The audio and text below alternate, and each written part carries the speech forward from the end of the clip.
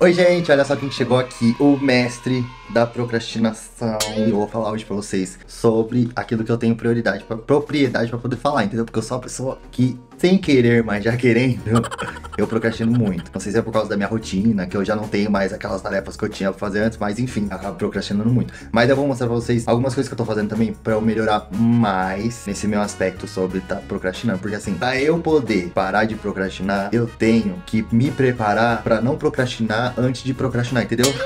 tipo isso que eu tenho que fazer. Mas hoje é sobre isso que eu vou falar no vídeo pra vocês, sobre uma coisa que eu tenho muita propriedade. Mas antes de eu explicar tudo, vamos lá pro que é a procrastinação, que eu também não sabia o que era procrastinação, até um dia eu ir num curso, aí a, o cara dividiu em turmas, assim, aí colocou as pessoas que são econômicas nesse canto, as pessoas que gastam bastante são, ficam nesse canto. Óbvio que eu fui pra esse canto porque eu não sabia o que era procrastinação. E as pessoas que procrastinam ficam neste canto. Eu falei, procrastinam? nunca tinha ouvido falar. Mas enfim, hoje vocês vão descobrir. Quem não sabe, vai descobrir o que é procrastinação. Vamos lá. Procrastinar seria transferir para o outro dia ou deixar para depois. Adiar, delongar, postergar, postergar, protrair. Aí as causas da procrastinação. Enfim, muitas pessoas dizem que procrastinação é coisa de gente preguiçosa. Mas não é isso que acontece. Na verdade, procrastinação pode ser por causas psicológicas ou fisiológicas. A procrastinação ela pode estar ligada a problemas psicológicos. Psicológicos seria, por exemplo, quem tem algum distúrbio mental. No caso, por exemplo, no caso de ansiedade, a problemas de autoestima. Tem até também quem deixa de fazer uma atividade só por medo da reprovação. Isso acontece muito comigo. E eu acho que deve acontecer também com, com muitas pessoas. Mas enfim, essa, são, essa é uma parte que é a parte psicológica. Aí a parte fisiológica. A fisiológica ela tá ligada ao cérebro, na parte no córtex frontal. Se a pessoa teve algum tipo de acidente, alguma batida, alguma coisa assim, pode ser que ela tenha problemas de atenção, déficit de atenção por causa disso, por causa desse problema fisio fisiológico que ela tem, entendeu? Tá, mas quais são os impactos da procrastinação na vida de uma pessoa? Às vezes o procrastinador não consegue uh, arranjar um tempinho na agenda dele para se, se encontrar com os amigos, com os familiares, entendeu? Porque ele acaba deixando as coisas para depois e aí eles nunca priorizam outras coisas. Aí você me pergunta assim, Bruno, mas não sou muito assim. É porque tem vários tipos de procrastinadores. Tem,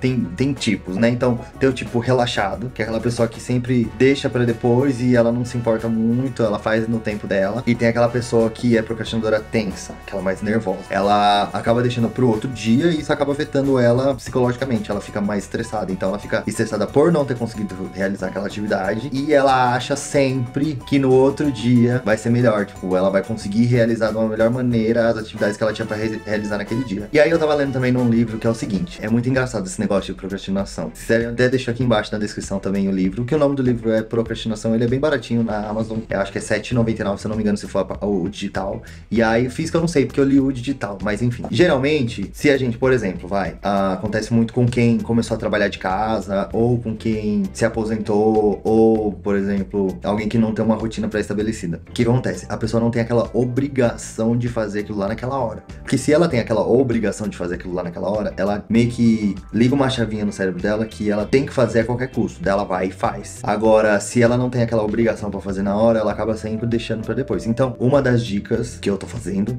agora é colocar tudo como tarefa. Então, por exemplo, vai, eu poderia não estar tá gravando esse vídeo aqui hoje hoje. Poderia gravar amanhã, mas eu coloco uma tarefa de que eu tenho que gravar no dia X, tal horas, para eu não postergar mais a, a gravação do vídeo, entendeu? Então vocês podem fazer isso também, como, começar a colocar como tarefas as coisas que vocês têm que fazer. Só que assim, a gente não tem que ficar se culpando por não ter conseguido as tarefas. Por quê? Geralmente, o que, que a gente faz? A gente pega e coloca as tarefas, a gente coloca muitas tarefas, porque a gente, óbvio, a gente quer resolver um monte de coisa. Mas tem que colocar tarefas que você sabe que você vai conseguir realizar. Um dos passos também é você pegar e dividir essas tarefas em micro tarefas, entendeu? Pra você conseguir realizar essas tarefas e conseguir se sentir melhor. Outra coisa, vocês têm, outro, outra dica. Vocês têm que fazer planos, incluindo os imprevistos. Então, isso aconteceu muito comigo no começo. O que, que eu fazia? Eu pegava, fazia a minha agenda lá no Google Agenda, que é uma luta pra mim, tá? Eu vou confessar bem pra vocês. Não é sempre que eu consigo usar o Google Agenda. Tipo, tem semanas que eu consigo, tem semanas que eu não consigo. Por quê? Porque pra eu poder colocar as coisas no Google Agenda, primeiro eu tenho que não procrastinar isso, entendeu? Então eu tenho que criar uma rotina de que eu consiga fazer isso todos os dias, ou tipo, um dia só da semana eu vou lá e faço. E aí o que acontecia? Eu colocava todas as tarefas que eu tinha que fazer no dia, só que eu não incluía os imprevistos. Então, por exemplo, imprevisto, vai, tem que pôr roupa tem que dar comida pros cachorros, tem que fazer a comida. E, tipo, eu não colocava isso também como uma das tarefas. Eu colocava só as minhas obrigações, as coisas que eu tinha que fazer. E aí, no meio do dia, tipo, eu sempre tinha que parar de fazer as minhas coisas para fazer esses imprevistos e acabava ficando o quê? Acabava ficando meio que frustrado porque eu não conseguia fazer, realizar minhas atividades, aí eu ficava tenso, nervoso.